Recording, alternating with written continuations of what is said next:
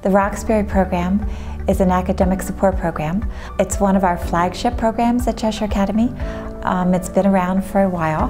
We look to accept students who are bright, highly capable, but for one reason or another just aren't achieving the success that they would have hoped to in their current situations.